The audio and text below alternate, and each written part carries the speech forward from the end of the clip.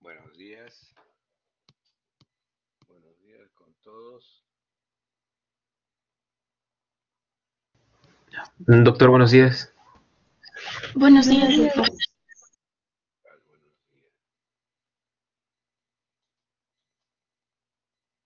¿Quién va a ser nuestro relator hoy día?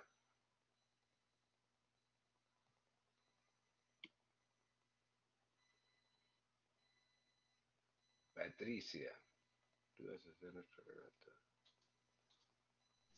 Sí, doctor, no hay problema. Eh, comenzamos. Filiación. Nombre. Yoconda Peralta Amico Raceto. Domicilio. Girón, California 359 sin número. Fecha de nacimiento. 19 de junio de 1960. Edad 59.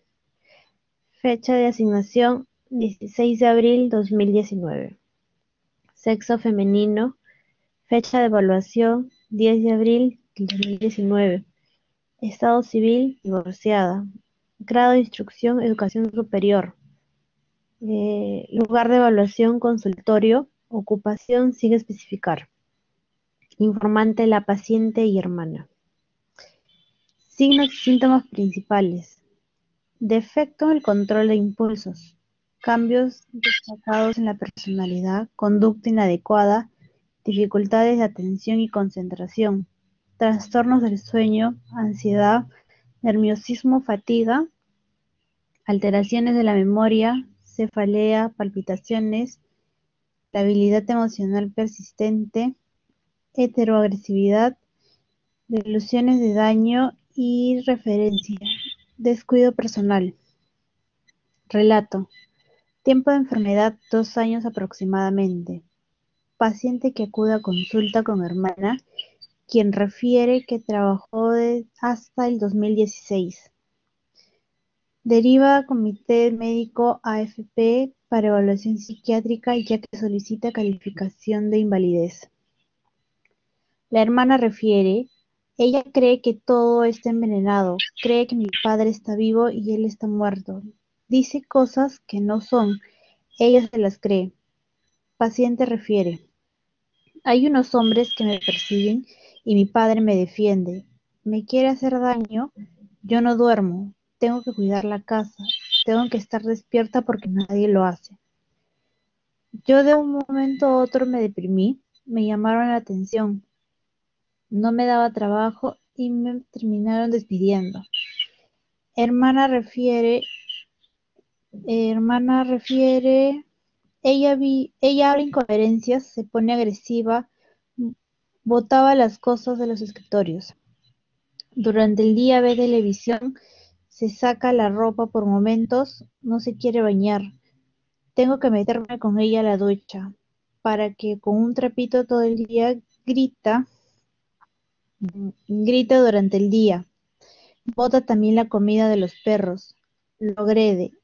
Todo bota porque dice que está malogrado. Se balancea todo el día. Ella es igualita a mi padre. Tiene momentos en que está muy tranquila.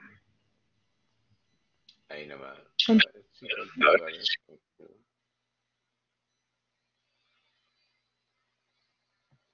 Continúa, por favor. Mm, Sí, doctor. Padre. Luis, antecedentes de depresión con psicosis. Fallecido por infarto de miocardio. Agudo. Madre. Perla. Aparentemente sana. Hermanos, tres aparentemente sanos. Esposo, no, divorciado. Hijo, uno. Michael, aparentemente sano. Nació de parto normal. Desarrollo psicomotriz normal. Infección por VIH desde hace tres años en tratamiento con Targa. Tratamiento psiquiátrico desde 2018. Recibe risperidona 6 miligramos al día. Piperideno 6 miligramos al día. Valproato de sodio 1500 miligramos al día. Fluoxetina 20 miligramos al día. Porte, comportamiento. No, eso no. A ver, quiero que ustedes me comenten.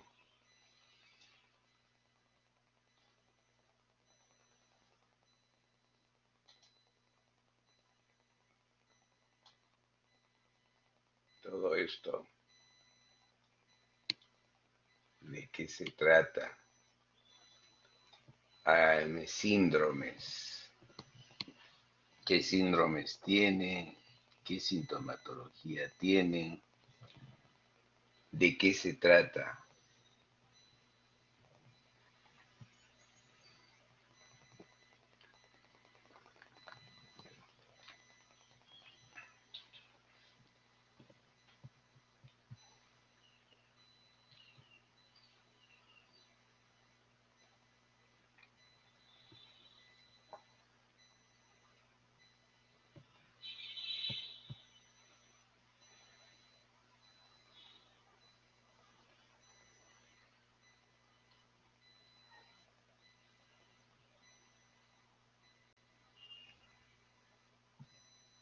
Anima.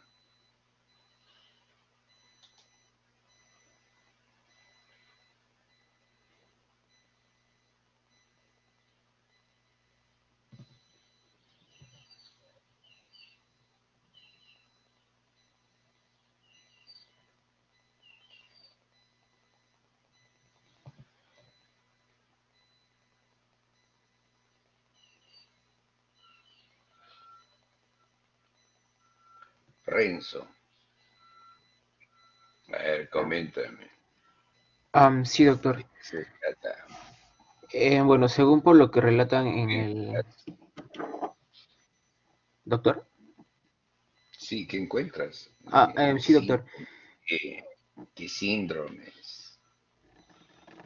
Mm, sí, doctor, por lo que el, la, paciente refería que eh, eh, bueno, sentía que había, había personas que le estaban eh, siguiendo o me parece que le estaban viendo. Yo más, yo más, yo estaba tratando de ver si es que era un síndrome paranoide, doctor. Eh, bueno, que alguien que como que, que alguien quisiera hacerle daño o que todo el mundo le estaba mirando, ¿no?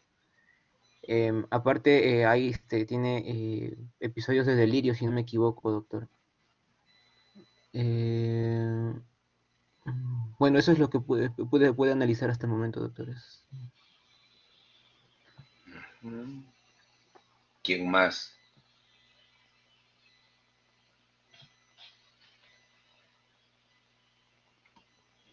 Karina, ¿qué encuentras ahí? Sí, doctor. Eh, bueno, también aparte de De lo que mencionó mi compañero Renzo, podríamos agregar eh, algún grado de demencia, doctor, porque, porque el paciente, eh, por el relato de la hermana, ¿no? Está teniendo, digamos, un declive lento también y progresivo de, de las funciones mentales, ¿no? Eh, también la memoria, el pensamiento, el juicio también, ¿no? Ya no está acorde a la realidad porque piensa que, lo quieren envenenar, que lo están eh, persiguiendo, ¿no, doctor? Que no se quiere bañar. Entonces, eh, podría también ser eso.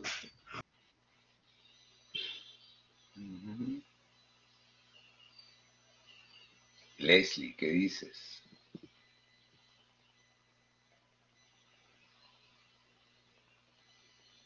¿Qué te llama la atención o, o no te llama la atención nada? Eh, sí, doctor. Y bueno, yo concuerdo con mis compañeros. No, ella al, creer que le están envenenando, y está teniendo eh, un síndrome paranoide. Eh, y bueno, al leer también que ella refiere de que hay hombres que la persiguen, inclusive ella dice de que este, el padre que no, que el padre que está muerto la defiende. Podría, con, todo con todo lo descrito, ella habla incoherencias, o sea, se podría quizás referir, doctor, que posiblemente está desarrollando un síndrome esquizofrénico también. Mm.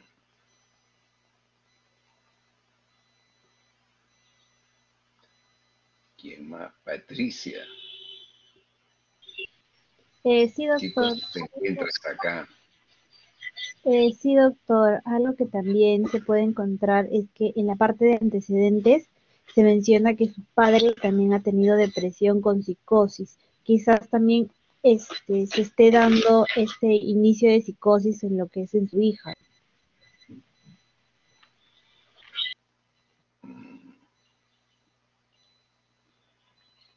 Yair.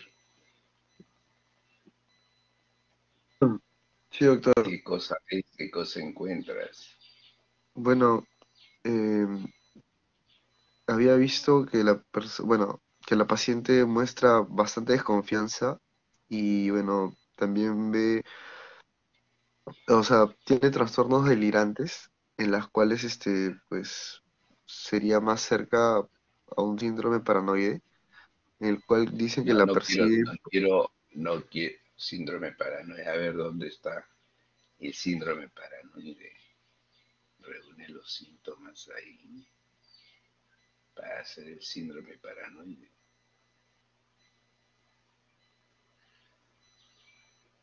Disculpe, doctor.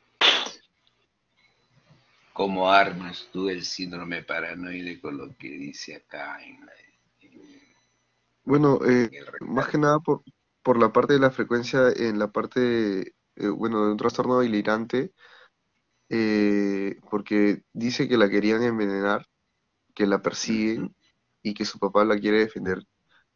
Eh, bueno, es bastante desconfiada, por eso dice que botaba la comida, hasta la comida de los perros, creo. Y también nos, eh, bueno, más que nada eso, ¿no? Y bueno, obviamente también creo que uno, un antecedente muy importante sería la parte de la depresión con psicosis que padeció su padre, ¿no?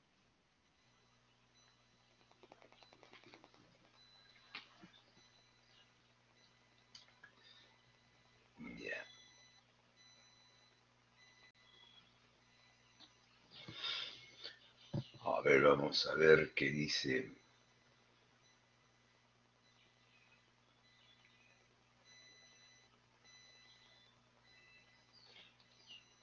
Ella tiene pues un trastorno del pensamiento, ¿no?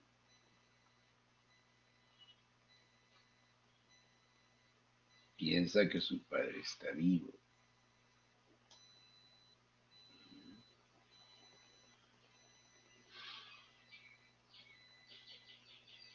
Después dice que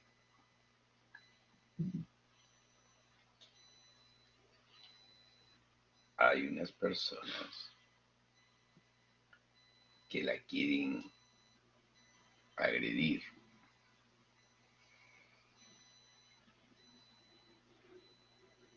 Y que su padre la defiende. ¿no?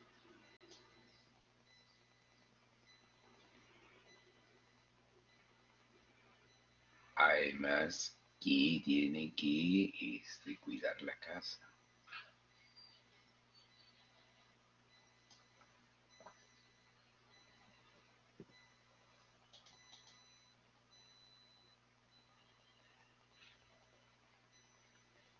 Eh,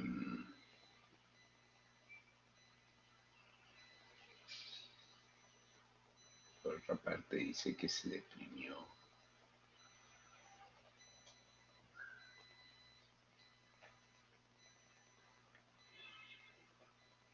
Por momentos habla incoherencias y se pone agresiva.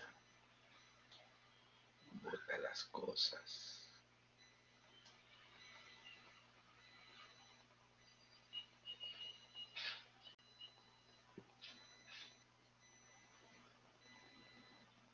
Durante el día solo mira televisión.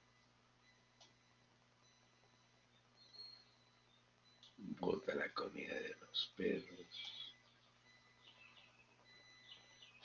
Agrede todo. Porque lo agrede y bota todo porque dice que está malogrado. Y se balancea. Entonces, ahí tiene un trastorno del pensamiento, un trastorno del pensamiento, un trastorno del pensamiento delirante.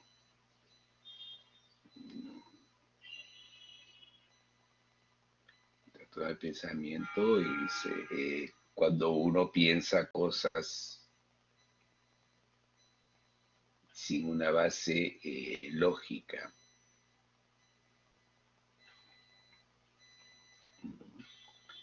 Y eh, es difícil de convencerlo de, otra, de, de lo contrario. Entonces acá vemos que hay un, un trastorno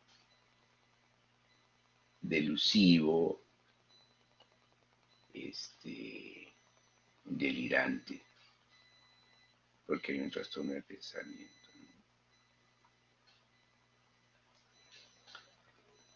También hay un trastorno de, em, de la actitud, de la conducta. ¿Por qué? Porque no hace nada durante el día, solo la televisión. Pero además este, hay un descuido personal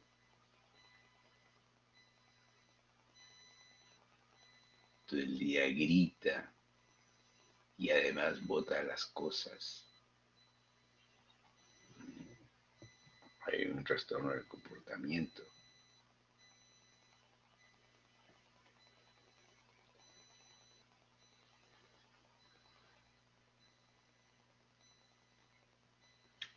Entonces todo este comportamiento que tiene esta esta persona no es pues gratuito, ¿no? es porque ella tiene un trastorno del pensamiento, un pensamiento delusivo, delirante, que, le, que, hace, que piense que está siendo agredida de diferentes modos y de lo cual tiene que quiere protegerse y quiere proteger a la casa. Ahí estaría, por eso estaríamos hablando de un síndrome paranoide.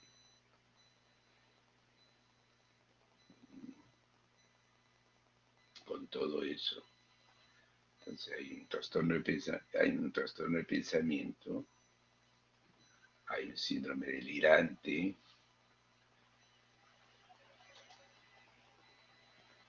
hay un síndrome delirante,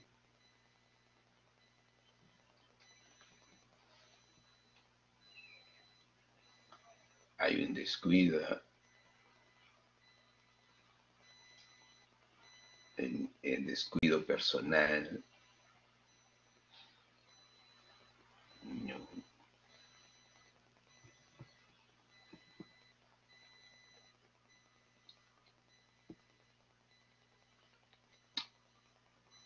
también es importante.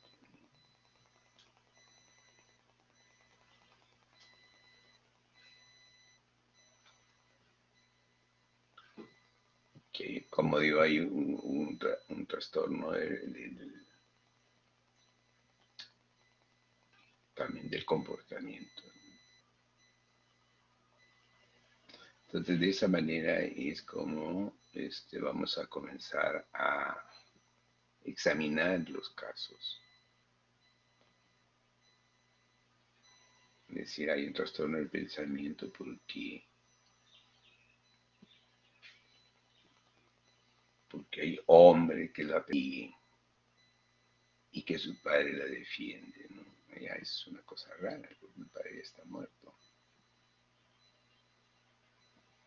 Entonces aquí ahí hay un problema con el pensamiento.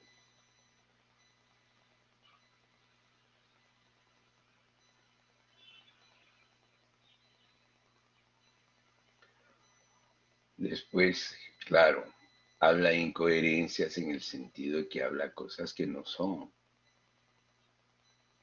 Y actúa de una manera que eh, llama la atención.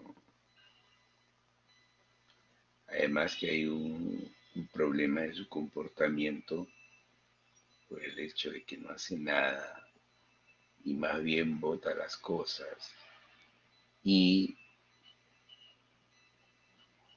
cierto, y, y, tiene eh, un problema de balanceo.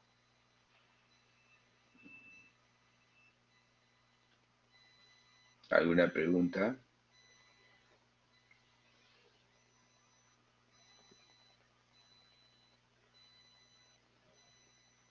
Renzo.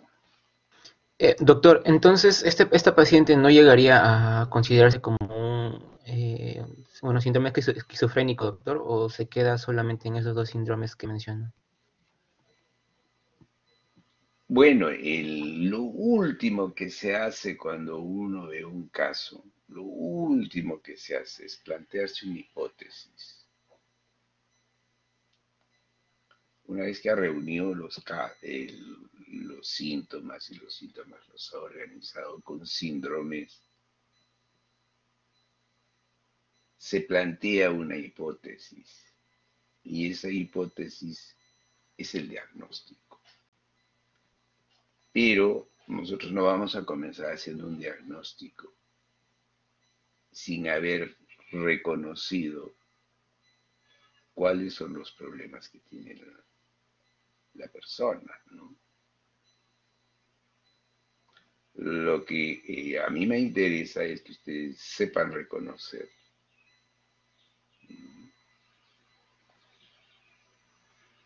qué trastornos tiene, qué partes de eh, qué áreas de su psicología, de la mente, están alteradas.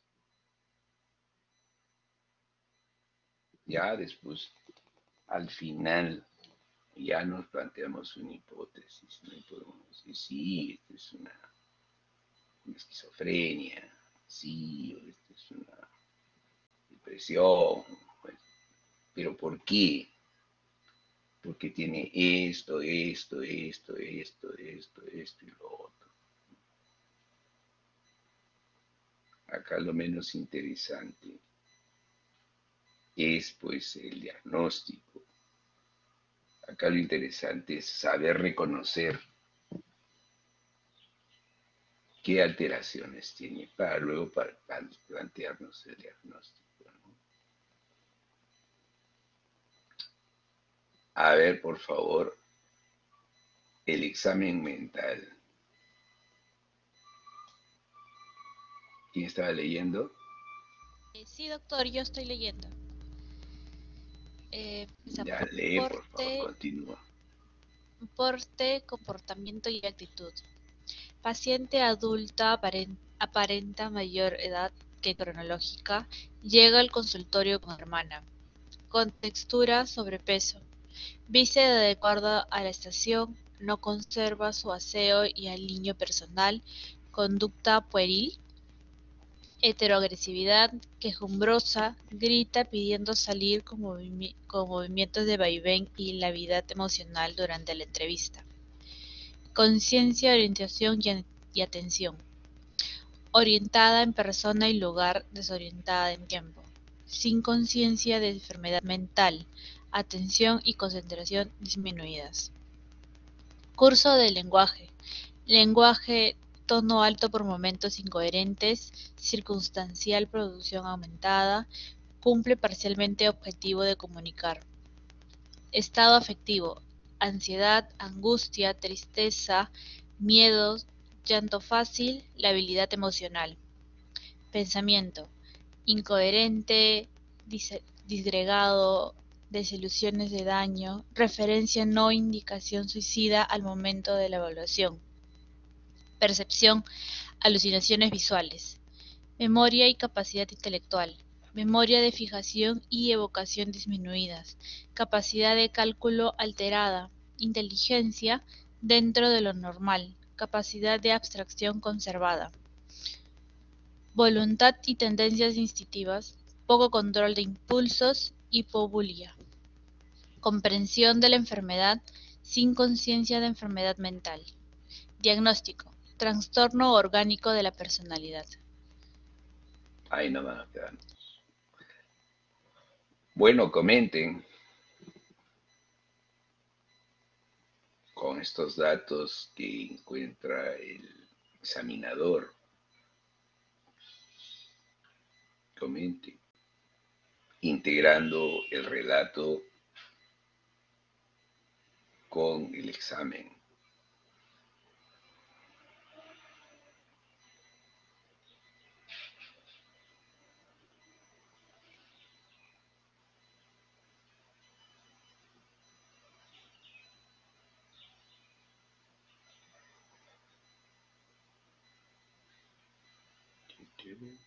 Se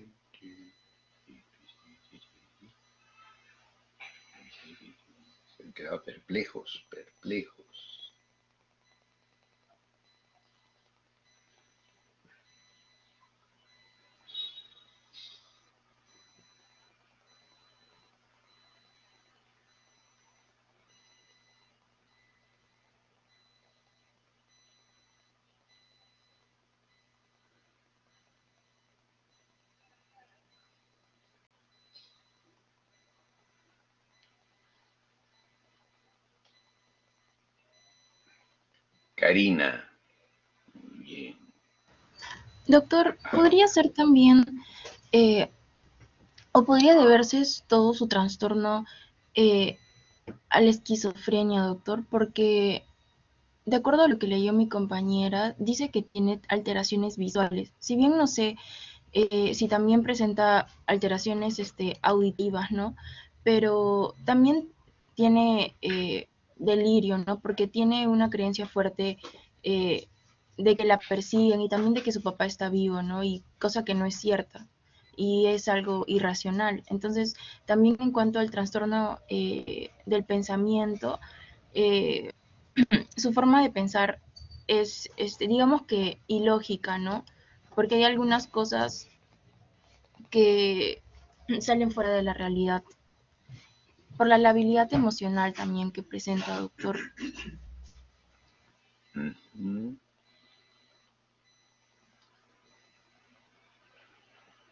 ¿Quién más quiere comentar? Estamos viendo un caso. ¿No? Y les toca examinar el caso.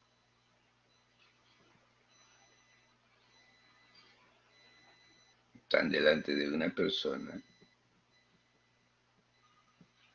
y ustedes tienen que examinarla. Según todo lo que hemos leído,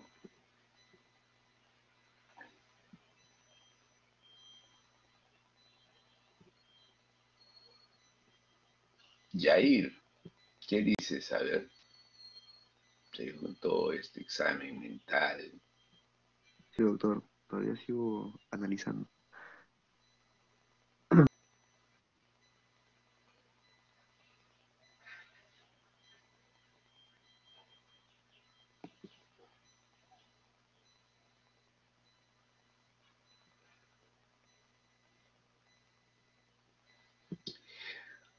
Bueno, bueno, bueno, bueno.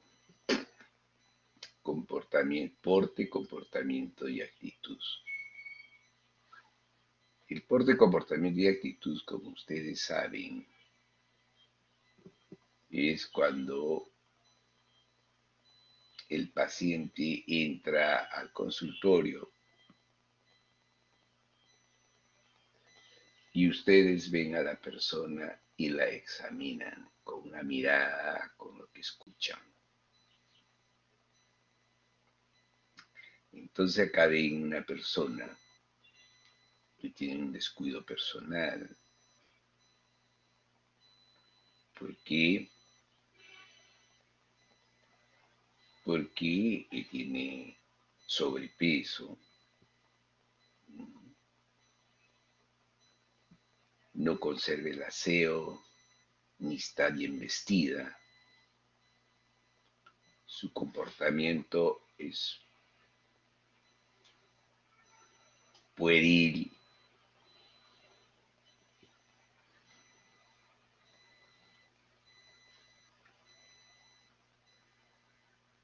está que grita y quiere agredir.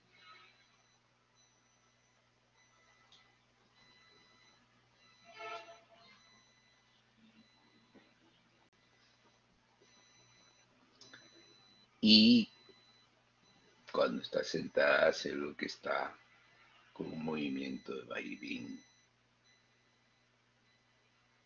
Entonces vemos una persona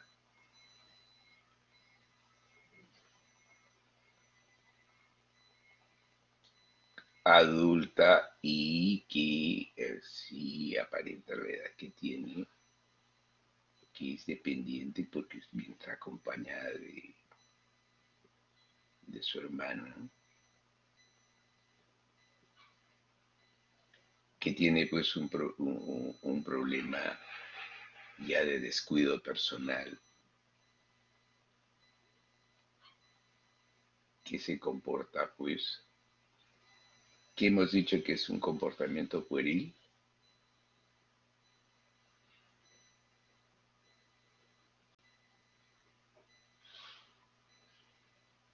¿Qué es un comportamiento pueril?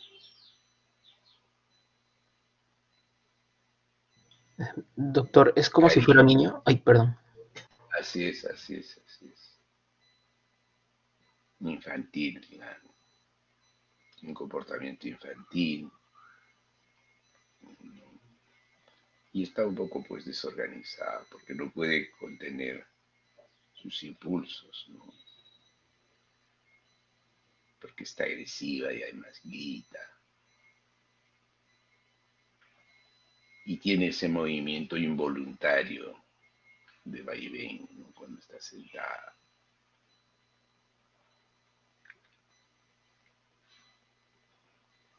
Entonces es una persona que a pesar de estar así, sí está orientada, sí se da cuenta de dónde está.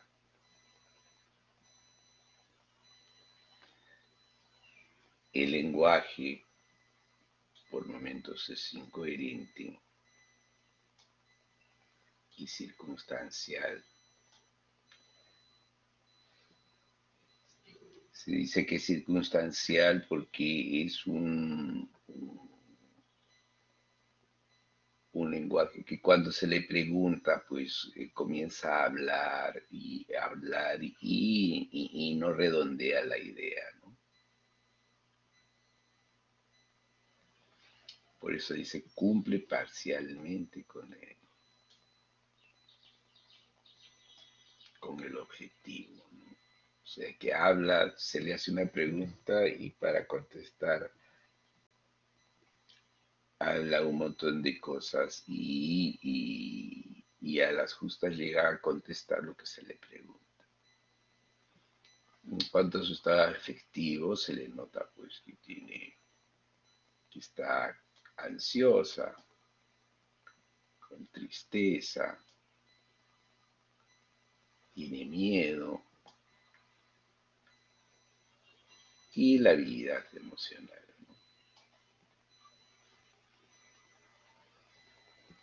En cuanto a la percepción, también hay problema. Está alucinada. Tiene alucinaciones visuales. En cuanto a la memoria y capacidad intelectual, La memoria está un poco disminuida en cuanto a la evocación. La capacidad de cálculo también está alterada. Capacidad de abstracción conservada, esto es lo que llama la atención.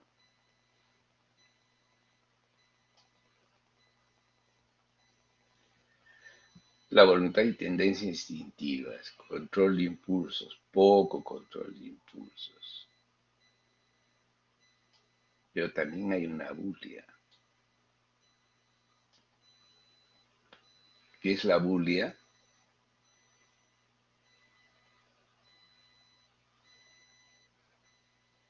¿Qué es la bulia?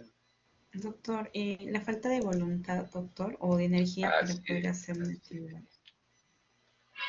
La falta de voluntad para hacer cosas, las cosas.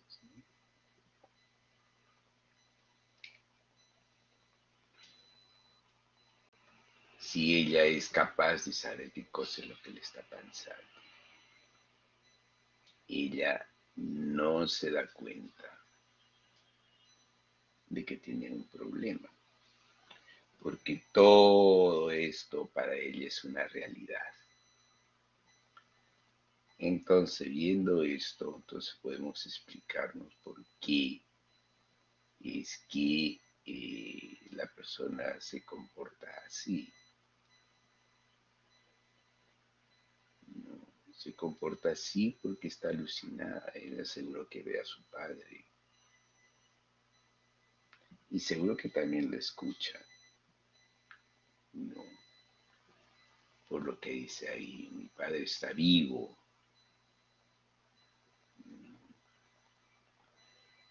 Y mi padre me defiende.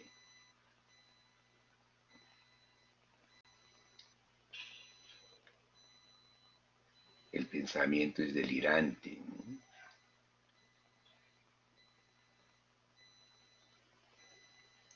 Acá dice, ahí está, delirante, de condelusiones del año y referencia. Se dice que este, son eh, daños de pensamiento delusivo o de referencia cuando eh, cuando, cuando es un pensamiento de, referencia, un delirio o una delusión de referencia o de autorreferencia.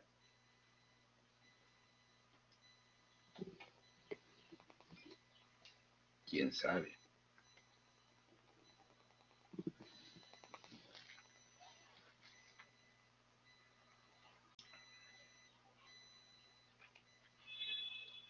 cuando siente o piensa que todas las cosas que ocurren están referidas a la persona, que le quieren hacer daño. Por ejemplo, le quieren hacer daño, es un pensamiento de autorreferencia, o están hablando mal de mí,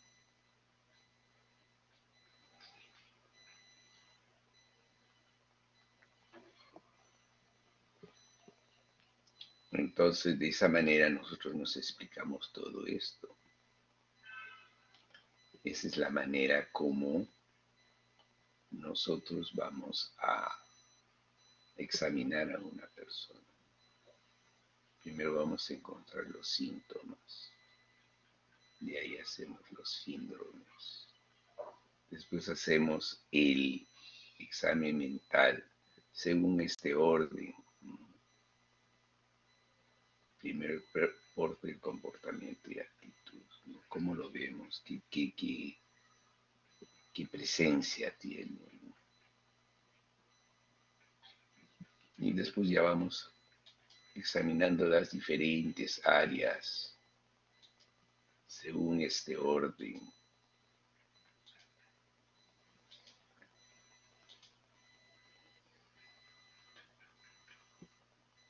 Esta esta paciente ya es una paciente crónica, porque ya tiene síntomas negativos, por, ejemplo no hace nada, solo mira televisión.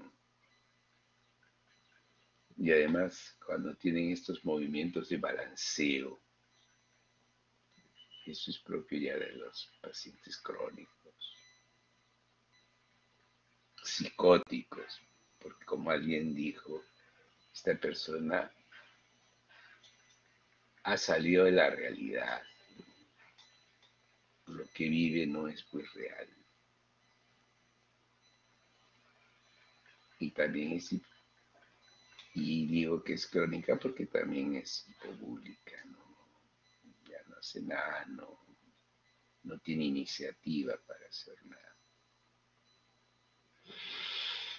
Entonces sí, con estos datos poder que podemos decir que es una neurótica o una psicótica.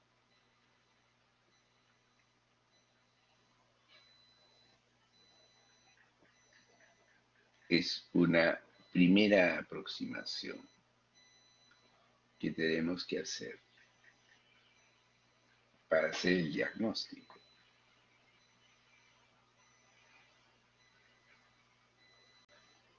¿Es una psicótica o es una neurótica o es un trastorno de personalidad? Renzo. Ah, doctor, yo, bueno, yo diría que es una, una persona psicótica, doctor. Presenta lo que son alucinaciones y aparte tiene la hipobulia, doctor. Bueno, eso es lo que recuerdo más o menos que comprendía el síndrome psicótico.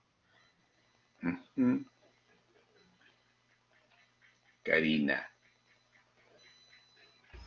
Sí, doctor. Eh, yo también concuerdo con Renzo. Diría que es una psicosis, ¿no? Porque eh, el paciente se está alejando de la, de la realidad, ¿no? Y está percibiendo también cosas que no existen, como lo de su padre, ¿no? También sobre lo que, que quieren envenenarlo y otras cosas que narró la hermana, ¿no? Patricia. Eh, sí, doctor, yo también creo que es una psicosis, ¿no? Porque ya aquí en realidad el problema ya sería entre la paciente, que sería el yo, y el problema externo, que es su alrededor, su ambiente en el que está, donde ya, donde cree que la están atacando.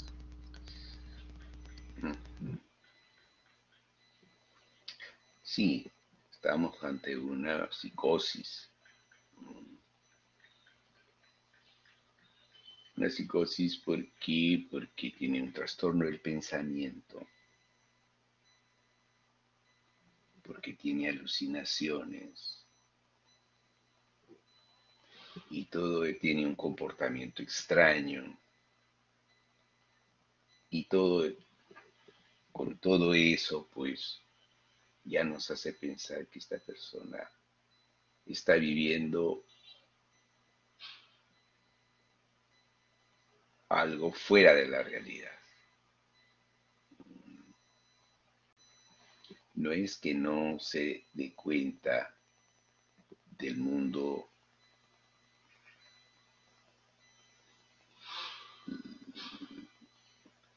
no es que no se dé cuenta que dónde está ni cómo, sino que como ya les he dicho, el psicótico vive pues dos mundos paralelos. El mundo subjetivo y el mundo objetivo, real, concreto que vivimos nosotros. Lo que pasa es que no pueden separarlos. No pueden hacer lo que nosotros podemos hacer, separar nuestro mundo subjetivo de lo, de lo que es el mundo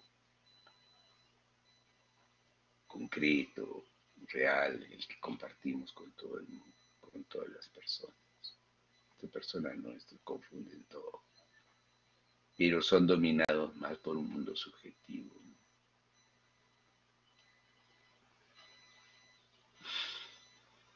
Ahora, llegamos al diagnóstico y la persona que ha examinado a esta persona, a este paciente,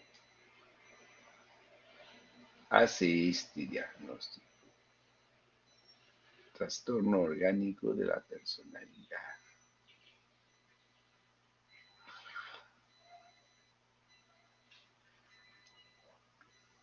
¿Por qué sería orgánico?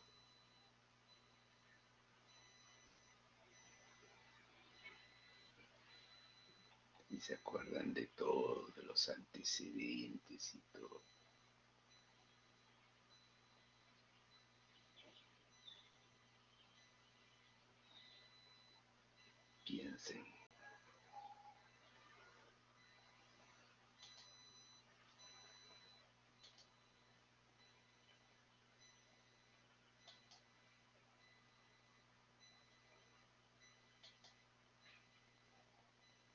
Karina, Doctor, eh, sería orgánico porque en el caso del paciente eh, hay un desorden mental que, este, que está disminuyendo la función mental, ¿no? Por eso podríamos eh, catalogarlo como orgánico. a ver qué opina otra persona.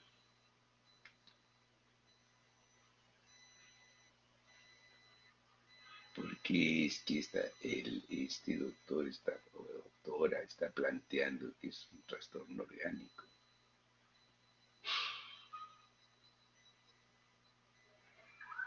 Renzo Yair Mendoza Arias. Eh, doctor, ¿podría ser por el antecedente del padre, doctor? O sea, que pueda ser una alteración por algún- algo genético, doctor, del parte del padre. No. Por esto.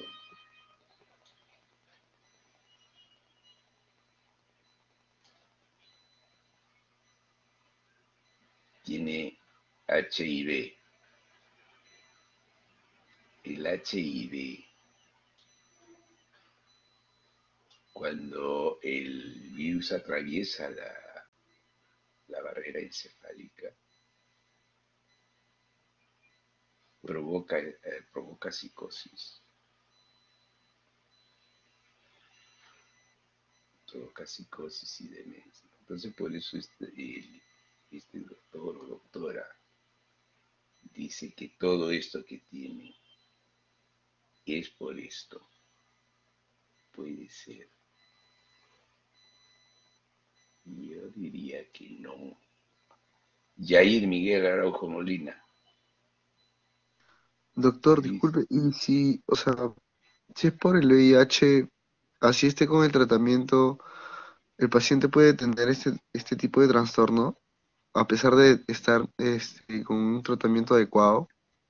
que de repente pues no lo lleva bien, ¿no? Puede ser que no lo lleva bien.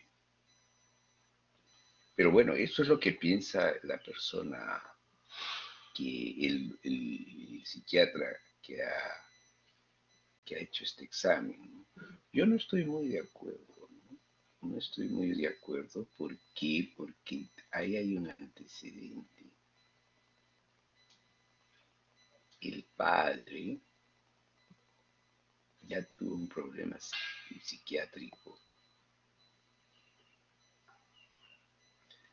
Entonces, por el antecedente, por ese antecedente, yo no diría que es orgánico, sino que está, está pues, este, por cuestiones genéticas y demás cosas, ha hecho un problema psicótico por este antecedente. ¿no?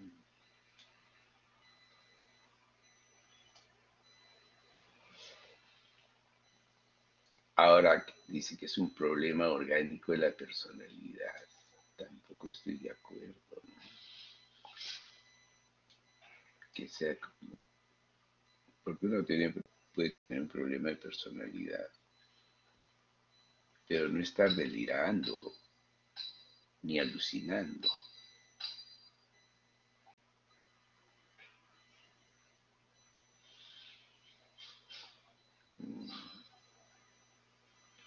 Bien podría, poner acá trastorno orgánico psicótico.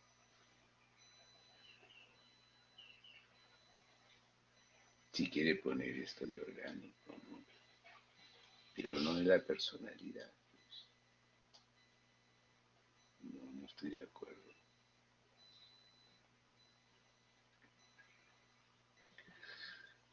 Lo más probable es que estemos delante de una esquizofrenia.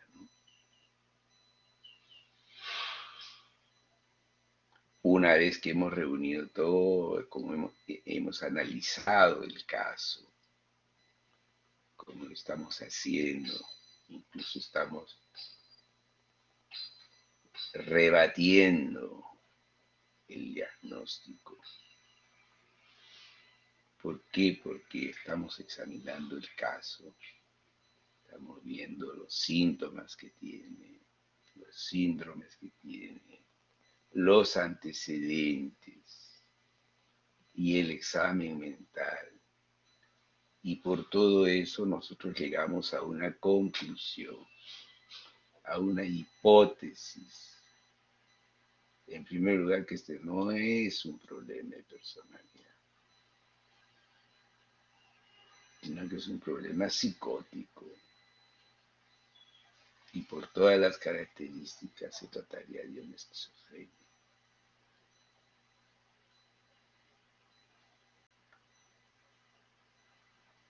¿Y sería una esquizofrenia de qué tipo? Paranoide, efrénica, catatónica. Simple. Esquizofrenia paranoide, doctor. Sí, doctor, concuerdo con mi compañero, sería una esquizofrénica paranoide. ¿Por qué? Siempre me tienen que decir el por qué. Why? Eh, sí, doctor, por el relato de la paciente, ¿no? Por- eh, vimos que ella este, veía a su padre muerto y pensaba que le iban a envenenar, ¿no? Todo el tiempo, inclusive botaba la comida de los perritos, eh, por todo lo relatado en la paciente.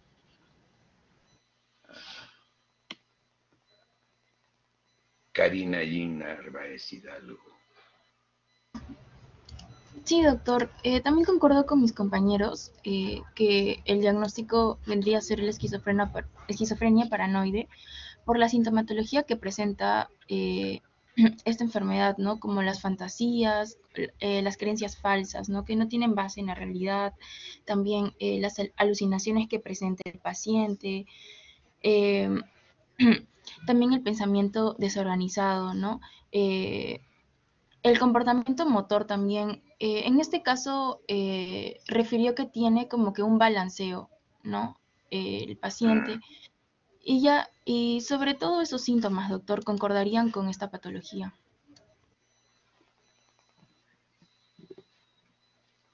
Ajá. Sí, se dice que eh, ese sería un, un- esquizofrenia tipo paranoide. ¿Por qué? Porque básicamente hay una alteración del pensamiento que lo lleva a actuar de una manera tal. Cuando, un pensa- eh, cuando una esquizofrenia este, tiene básicamente alteraciones del pensamiento y actúa conforme a estos actos. Y es más o menos esas, esas, esos delirios, esas delusiones son más o menos organizadas. Entonces ahí se habla de, un, de una esquizofrenia paranoide. Por ejemplo, el tema en este caso es que eh, su padre está vivo. Y conforme a ese, ese principio, vamos a decir así, es que está actuando esta, esta paciente. Por eso es una esquizofrenia paranoide.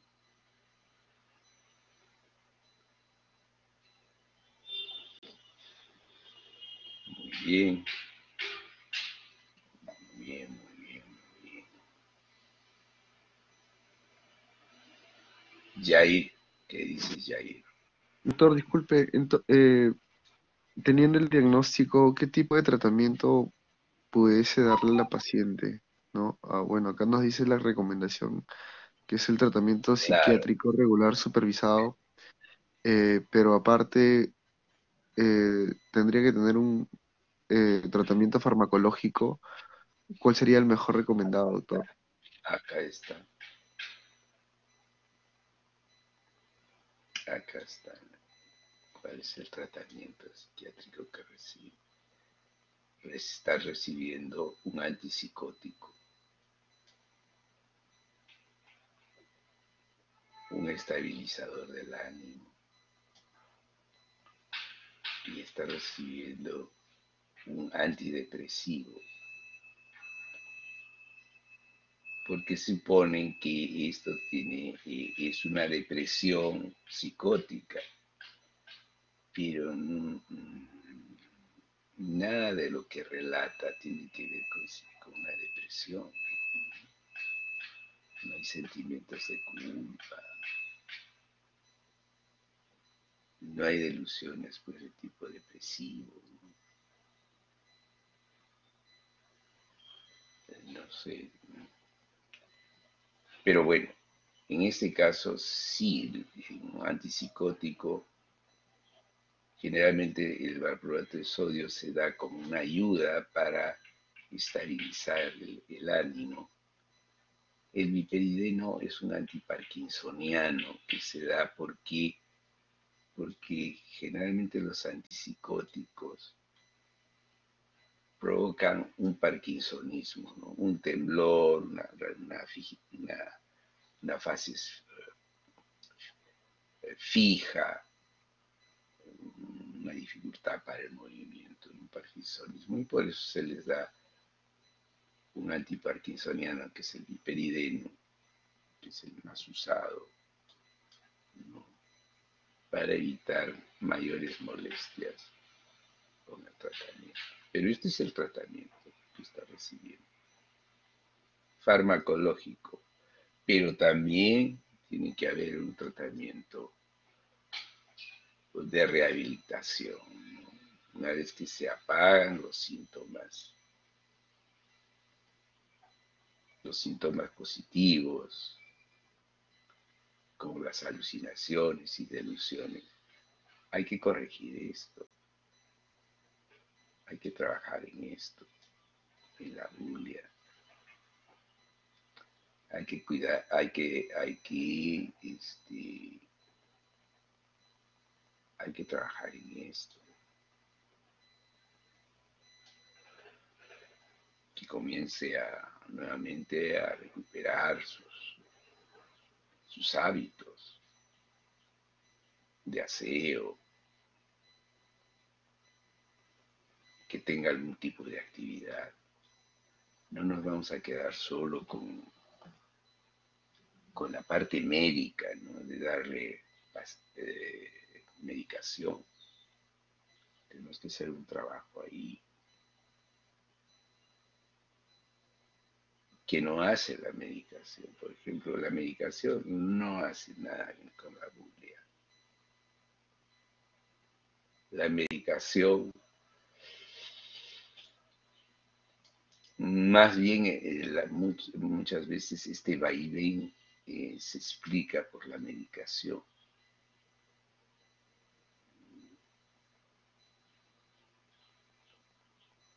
Y darle un tipo de ocupación, entrenarle un tipo de ocupación. En la relación con los demás también hay que trabajar. Entonces no solo nos quedamos con la medicación, no, no, por lo menos ese es mi punto de vista.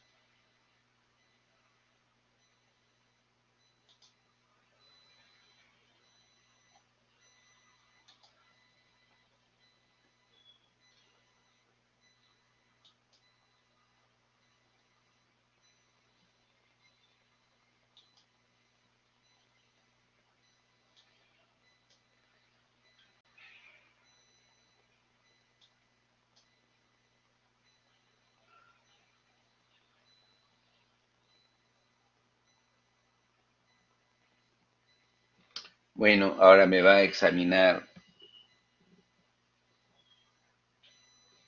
a esta persona que vamos a ver.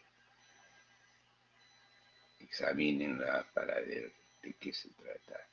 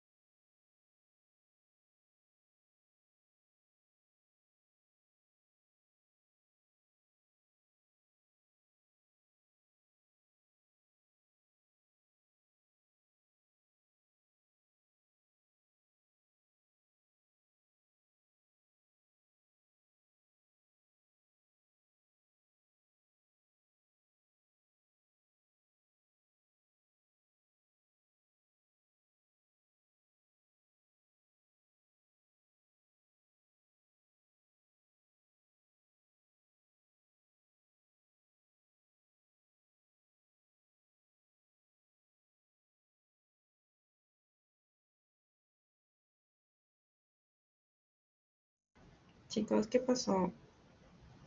¿El doctor dijo algo? Eh, se, se equivocó presionando el botón de cerrar ventana y cerró todo. Ah, ok. Sí, cerró la sesión el doctor.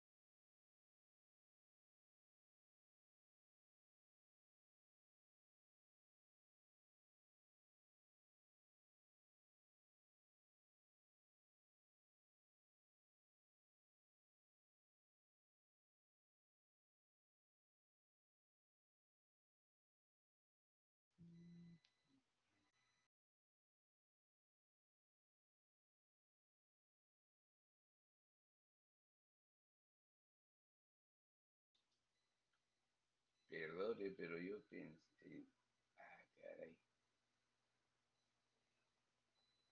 Pensé que estaban haciendo.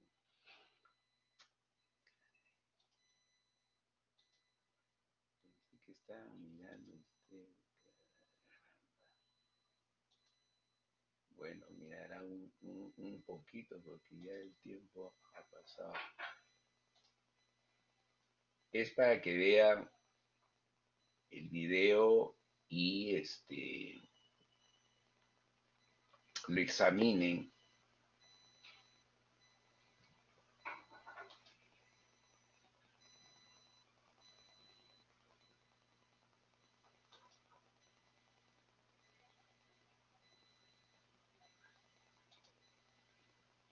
¿Lo están viendo? Coméntenme. Sí, doctor, sí se puede observar.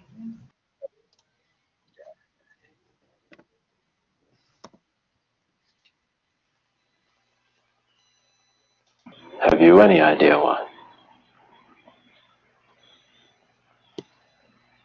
Yes, And Observen, what is that? I am not completely like other people. What do you mean by that? People dislike me because I am not completely like them. And in what way are you different?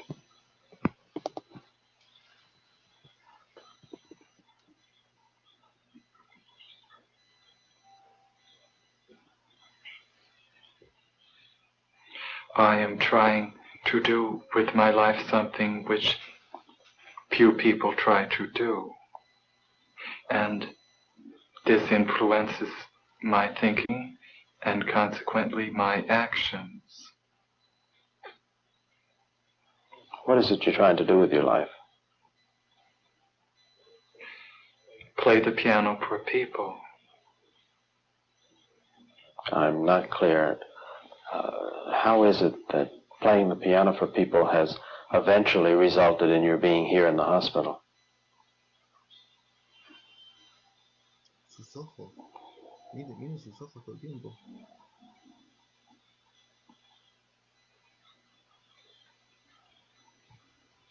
I sit differently when I play the piano, and when I'm away from the piano, I occasionally look differently from other people, and this has caused dislike from people. They dislike you because you sit differently at the piano? Yes, What way do you sit at the piano that people would dislike you?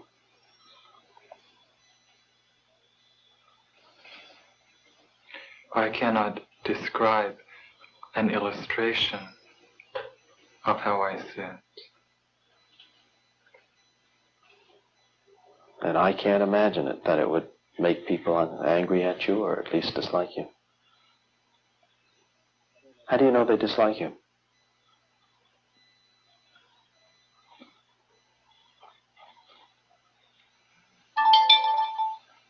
My father does, and doctors do, because of the way I appear in relationship to the way I sit at the piano and occasionally stand when I'm away from the piano because of the way I sit at the piano. How do you stand when you're away from the piano that they dislike you?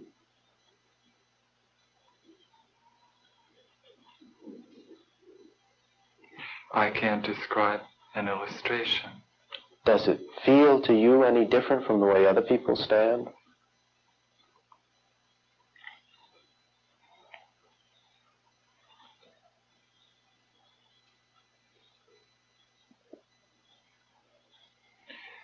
Yes, it feels different. In what way?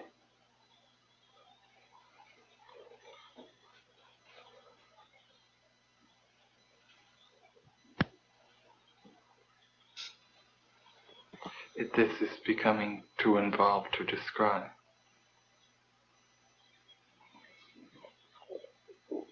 Would I be right in assuming then that you don't feel that you belong in the hospital, but that other people did feel that? As soon as I express the belief that I do not belong in this hospital, which is a mental hospital, then those who dislike me want to find a worse place for me. I'm not sure I understand. Could you make that clearer for me?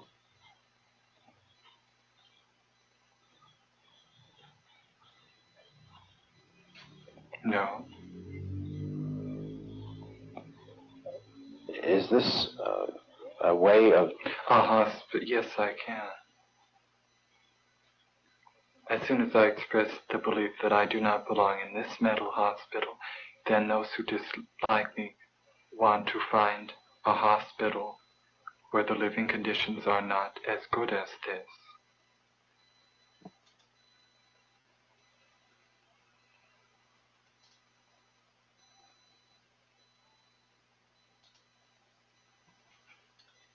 Bueno, acá nos vamos a quedar con estas imágenes, la voz de él, los que han entendido me van a comentar.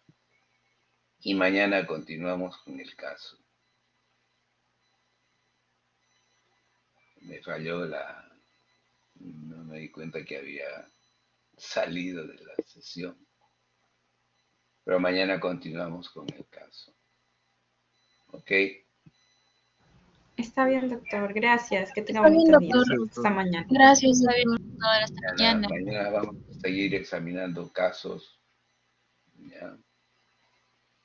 Ok, hasta mañana.